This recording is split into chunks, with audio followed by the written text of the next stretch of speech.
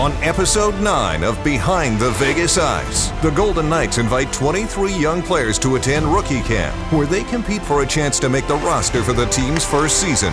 And the rookies head to Los Angeles to represent the Golden Knights in the team's first ever NHL exhibition game.